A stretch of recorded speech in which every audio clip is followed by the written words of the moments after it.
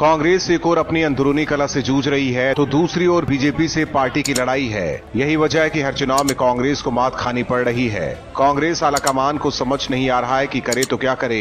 इसी बीच कांग्रेस ने जनता को विश्वास दिलाने के लिए भारत जोड़ो यात्रा की शुरुआत की है। कांग्रेस कन्याकुमारी से कश्मीर तक भारत जोड़ो यात्रा कर रही है। ऐसे में राहुल गांधी तीन हज़ार पाँच सौ सत्तर किलोमीटर की यात्रा करेंगे।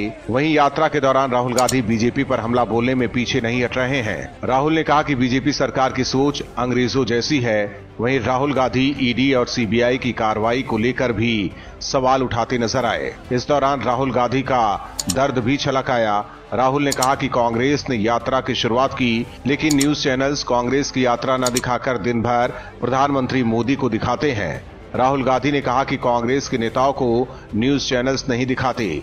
इसीलिए कांग्रेस भारत जोड़ो यात्रा कर रही है। राहुल गांधी की इस यात्रा में महत्वपूर्ण बात यह है कि उनकी यात्रा उन राज्यों से नहीं गुजरेगी जहाँ इस साल विधानसभा चुनाव होने हैं। राहुल गांधी की यात्रा बिहार, झारखंड जैसे राज्यों से नहीं गुजरेगी, जबकि कांग्रेस इन राज्यों में सरकार का हिस्सा है। भारत जोड़ो यात्रा के ज़रिए राहुल गांधी तीन सौ बहत्तर लोकसभा सीटों पर फोकस करने की रणनीति के तहत ज़मीन पर उतरे हैं। एक तरफ़ कांग्रेस छोड़ चुके नेता सवाल उठा रहे हैं तो दूसरी तरफ़ बीजेपी लगातार कांग्रेस पर हमला कर रही है। बीजेपी का कहना है कि कांग्रेस मुक्त भारत का अभियान जोरों पर चल रहा है, जिस कांग्रेस पार्टी को जनता नकार चुकी है उस कांग्रेस पार्टी के नेता भारत जोड़ो यात्रा कर रहे हैं। वहीं कांग्रेस पार्टी की इस यात्रा पर असम के मुख्यमंत्री ने ज़बरदस्त हमला बोला है। असम के मुख्यमंत्री ने कहा कि कांग्रेस को भारत की नहीं बल्कि पाकिस्तान में यात्रा करनी चाहिए, जिससे लोगों को एक ऐसा भारत मिले जो विभाजन से पहले अविभाजित था।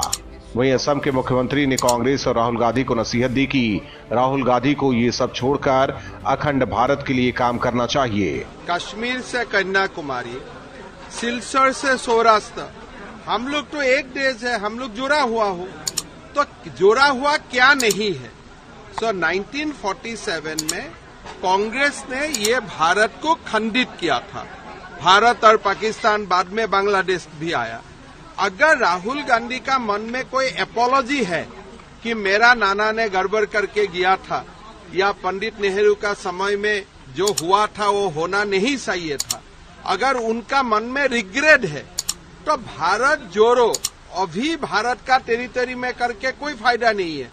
आप पाकिस्तान को जोड़ने का कोशिश कीजिए, बांग्लादेश का जोड़ने का कोशिश कीजिए, और अखंड भारत के लिए प्रशंसा कीजिए, अगर आपका मन में कोई रिग्रेट हो पार्टीशन के लिए।